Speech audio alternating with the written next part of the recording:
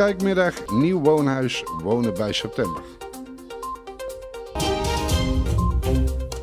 Rode lintjes voor de tiende keer uitgereikt. Wapens inleveren zonder sanctie. Binnenkort in Apeldoorn.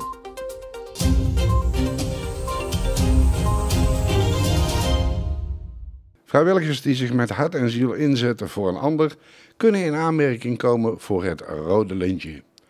Het Rode Lintje is een initiatief van GroenLinks Apeldoorn en wordt jaarlijks uitgereikt met Valentijnsdag. Voor de tiende uitreiking dit jaar waren er vier genomineerden. Het zijn een eh, aantal verschillende. We hebben het Huis eh, van de Levenskunst. Dat is een eh, huis voor, waar ze dagactiviteiten aanbieden. Antroposofische leerschool gestoeld voor mensen met dementie. Het draait volledig op vrijwilligers. We hebben een man, Frank Nijpels, die jaarlijks, hij doet heel veel, maar jaarlijks onder andere voor 500 à 600 kinderen een buitenspeeldag organiseert bij de, bij de Loosweg. We hebben hier een vertegenwoordiging van 100 talentvolle vrouwen. Vrijwilligers die andere vrouwen in de Apeldoorn geholpen hebben en helpen om ze te, uh, met het schrijven van sollicitatiebrieven, sollicitatiegesprekken, workshops, hè, om, uh, ja, kans op banen en alles te gaan uh, vergroten. En we hebben ook iemand in ons midden, Amanda Kraan, die ja, vorig jaar voor de eerste keer de liefdesmars heeft georganiseerd in uh, Apeldoorn. Ze was helemaal klaar mee met al dat gemopper. Daarvan positief geluid. Geen politieke mars, geen protestenmars, maar een mars in het teken van, van de liefde. Nou, deze vier uh, initiatieven die zijn voorgedragen bij ons bij de fractie naar een oproep om, om mensen aan, aan, aan, te reiken, namen aan te reiken. En echt met heel veel plezier en heel veel trots hebben wij net die mensen een rood lintje overhandigd en opgespeld. Nou, er zijn in het begin drie vrouwen geweest, drie mensen geweest moet ik zeggen, één man en twee vrouwen, die bedacht hebben dat vrouwen wel wat ondersteuning konden gebruiken bij het beter presenteren op de arbeidsmarkt. Uh, en dat liep zo door. En nou, in de loop van de jaren hebben andere mensen het stokje overgenomen, waaronder ikzelf. Samen met Ilonka Noord en Teuna Bouwmeester. En ehm, ja, we zijn gewoon doorgegaan op de lijn die ingezet was. Dus elke maand workshops voor vrouwen. zonder kosten, dus mensen konden gratis deelnemen. De workshopsleiders deden het gratis. Dus aan alle kanten sociaal, ja.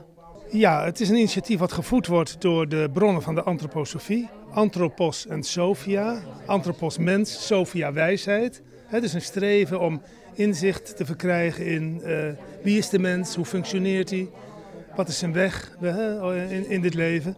En wij zijn uh, in die zin uniek dat wij um, mensen proberen te begeleiden in de training van hun geheugen en hun herinneringsvermogens niet door bijvoorbeeld feitelijkheden, van weet je nog waar app appelschaal ligt of zoiets dergelijks. Niet door feitelijkheden, maar door beweging en kunstzinnige activiteiten te koppelen aan geheugen en aan zingeving. Dus wij proberen om zin en betekenis uh, aan te bieden in het leven van deze mensen met dementie. Dat is, daar is het Huis van Levenskunst. Voor opgericht en dat is uh, levenskunst zegt het eigenlijk in de naam ook al. Het leven als een artistieke opgave, als een artistiek proces. Dus zo, zo werken wij. Maar hoe uh, zit zo'n selectie in elkaar? Wat is nou de definitie van de perfecte vrijwilliger? Ja, dat is heel moeilijk, want je doet ook heel veel vrijwilligers eh, tekort, hè, die je allemaal niet zo'n rood lintje uh, overhandigen. Er zijn er heel veel. Apron is ook een stad, je kan het Noorbeschap noemen, hè, waarin we veel naar elkaar omkijken. Gelukkig doen we dat met z'n allen nog altijd in, in Apeldoorn. en eigenlijk zou je elke vrijwilliger en elke ook mantelzorg in Apeldoorn gewoon jaarlijks in het zonnetje willen zetten. Wij hebben gekeken naar bijzondere activiteiten. En kijk je bijvoorbeeld zo'n dagactiviteit voor eh, mensen dementie, antroposofisch. Dat hadden wij nog niet in uh, Apeldoorn. En het is ook geen zorginstelling. Het zijn juist de vrijwilligers die het daar doen. En zo'n man die al, al 18 jaar een buitenspeeldag organiseert, er heel veel tijd en energie in stond. Met als resultaat 35 vrijwilligers en volgens mij zei hij dat hij ongeveer 5000 euro jaarlijks ophaalt uit donaties uit de buurt. Ik denk, ja, dat is iemand die zet zich zo in voor, voor zo'n grote groep uh, kinderen. Dan ben je heel bijzonder. En ook zo, zo, de liefdesmas.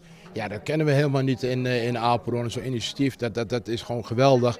En die 100 talentvolle vrouwen, die gaan helaas, stopt dat uh, initiatief. Hebben ook een jaar of acht 2009 heeft dat plaatsgevonden in, in Apeldoorn.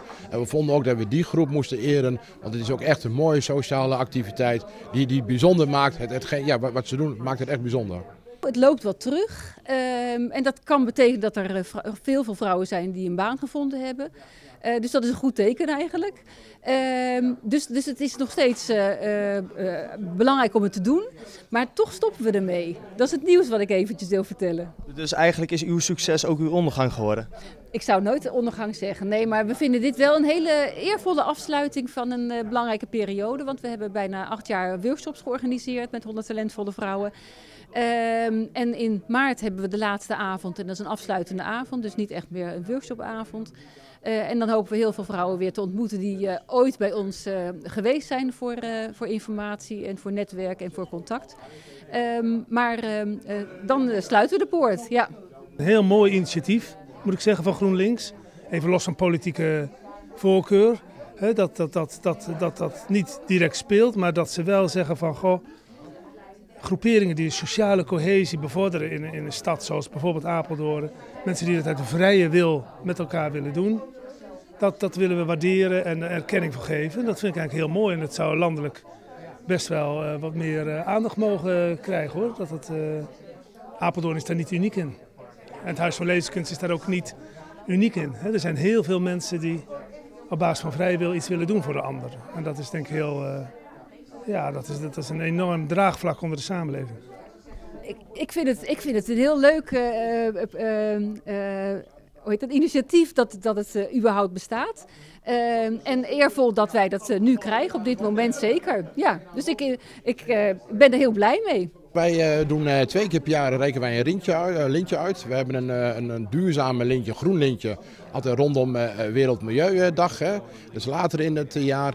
En voor deze altijd rondom Valentijnsdag. en we doen altijd een aantal weken van tevoren een oproep via de sociale media. Van goh, hè, draag iemand voor. En we hebben ook best wel een aantal mensen voorgedragen gekregen, ongeveer tien dit, dit jaar. En hebben een, ja, daar een keuze in gemaakt. We hebben deze vier het meest bijzonder en bovenuit uh, vonden steken. En daar willen die anderen absoluut niet tekort uh, doen. Want nogmaals, heel veel waardering voor al die mensen die dat gewoon doen. Wonen bij September realiseert kleinschalige opvang voor ouderen met dementie in de wijken van Apeldoorn. De tweede vestiging aan de Kelvinstraat nummer 1 is bijna gereed. We hebben een inkijkmiddag. Dat betekent dat ze bewoners, maar ook belangstellenden hebben uitgenodigd om te komen kijken op onze nieuwe locatie aan de Kelvinstraat in Apeldoorn. Om wonen bij september uh, invulling te kunnen gaan geven. Ja.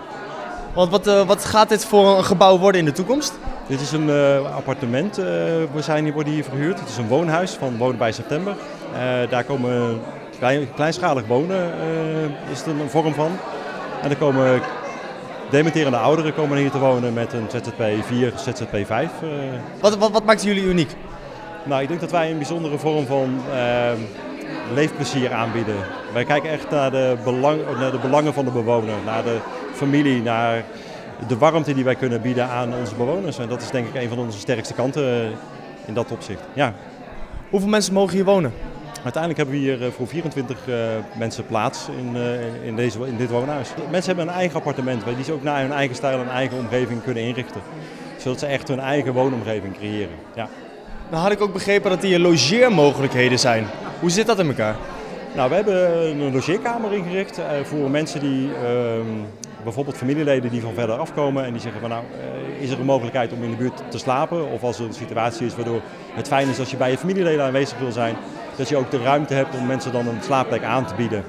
En dat is, dat is een service die we daarbij hebben, om, om mensen gewoon ook de mogelijkheid te bieden die bijvoorbeeld vanuit het, wat, ja, uit het noorden van Nederland of het zuiden van Nederland familie hebben en die toch bij hun ouders op bezoek willen komen, dat, dat die mogelijkheid ook is. Staat een basisschool naast dit, uh, dit plekje.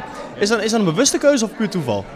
Uh, het is een bewuste keuze om uiteindelijk dit stuk grond hier te kopen en dit, uh, dit pand hier neer te zetten. En wij vinden het een hele mooie toevoeging. Wij proberen in de wijk eigenlijk als het ware te integreren. En daar hoort eigenlijk ook in dat we van jong tot oud bij elkaar krijgen. We hebben al een hele leuke samenwerking met de, met de school. Uh, we zullen dat ook nog verder gaan intensiveren. En het is leuk om juist de grote verschillen tussen de oudere populatie en de jongere populatie bij elkaar te brengen. En dat in één wijk, ja, dat is, uh, is fantastisch. Het is nog niet klaar, dat is duidelijk. Hoe zien de komende weken eruit? druk, heel druk. Nee, we zijn heel druk bezig om te zorgen dat we in ieder geval de inrichting klaar gaan krijgen. de bouw zal rond half maart afgerond zijn. Dan zal die overgedragen worden naar Wonen bij September.